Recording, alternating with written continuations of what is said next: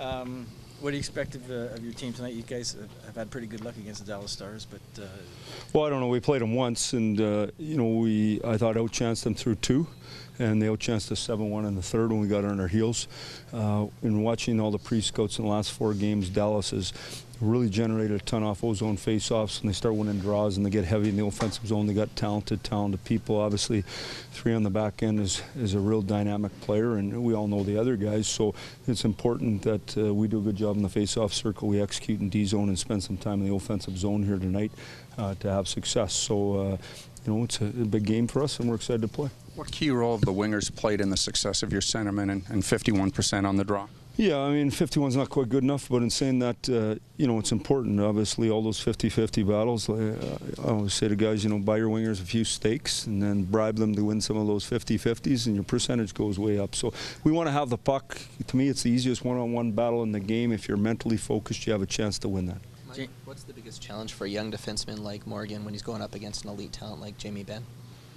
Well, I just think uh, Benner got to Lynette a ton against us last game. He's going to have to work real hard uh, to keep him away from that thing about Benner. When you cross-check him, you try to keep him away. Sometimes he punches you in the head, so you got to respond to that a little bit. And so, uh, you know, that's a challenge for him. Uh, Rise is getting better every game. Uh, he makes more plays without the puck than he did for sure early going. He's breaking up way more plays, and he's been on for less chances against, and that's critical for us. And we're going to continue with that focus. Obviously, playing with Hunwick, who seems to stand in the right spots, helps him, but uh, they're doing a good job. Winnik stay out tonight? Yeah, I, I never even thought about him. I mean, if you couldn't practice, you can't play.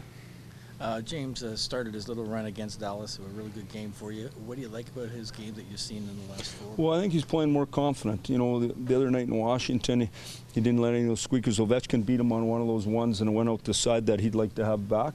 Uh, you know, Rams has played well for us. He's uh, uh, given up a few squeakers he'd like to have back. And saying that, though, he's battled. And I think as he's battled and got on this run, he looks more comfortable. The puck's sticking to him better.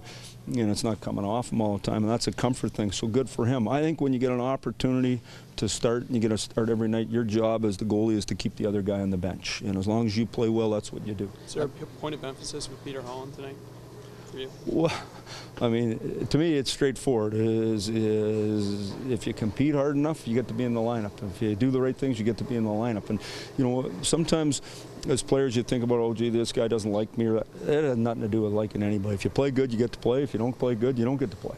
Uh, Bernier is on the trip. Is it Vivo backing up though? And Yep.